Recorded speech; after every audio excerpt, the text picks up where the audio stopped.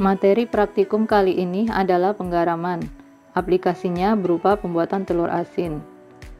Untuk step pertama, amati karakteristik telur bebek mentah dari warna, aroma, serta bentuknya. Untuk step berikutnya, siapkan alat dan bahan yang akan digunakan. Untuk cara pembuatannya, campurkan garam dan abu gosok, bawang putih yang sudah dihaluskan, serta air secukupnya.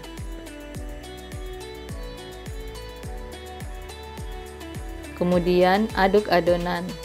Tambahkan air sedikit demi sedikit. Kemudian aduk adonan kembali.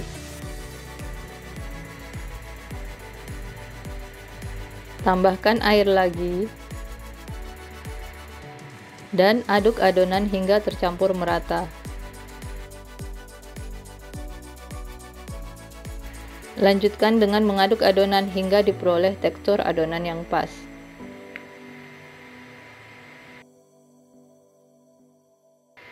Step berikutnya, balut telur dengan adonan hingga ketebalan 1 cm.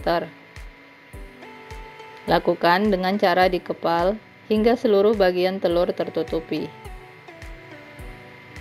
Dikepal terus-menerus dan sesekali diperas untuk membuang sisa air dari adonan.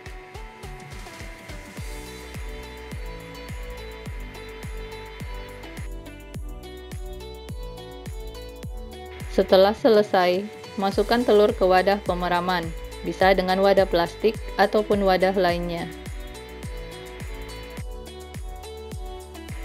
Simpan telur selama 7 hari untuk pengamatan selanjutnya.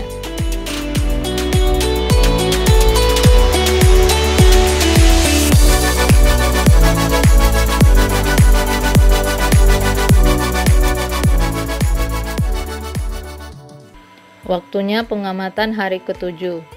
Step pertama yang dilakukan adalah meluruhkan adonan pengasin secara perlahan hingga terlepas dari kulit telur.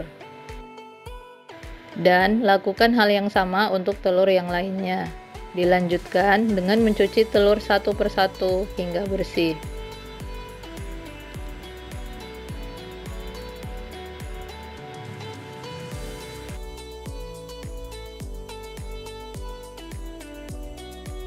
Setelah itu, masukkan telur ke dalam air mendidih.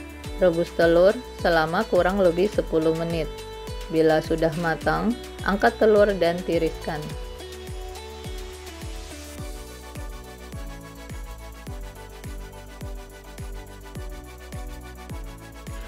Untuk tahap selanjutnya, belah telur menjadi dua bagian untuk uji karakteristik sensorik berupa warna, aroma, rasa, dan tekstur. Setelah itu, masukkan data ke dalam tabel pengamatan.